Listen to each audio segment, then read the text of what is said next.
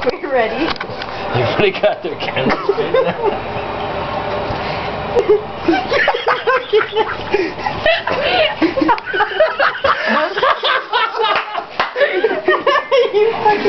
Jesus isn't gonna drink that shit. it just tastes like alcohol.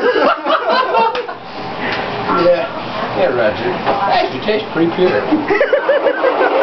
Does it taste like cat asshole? Because there's probably a little cat asshole in there. You know the cat. The last time we had cat assholes, I'm not really reminded of that that much. So not like I had cat assholes before. Recently, anyway. Well, Alright, awesome. okay. I'm not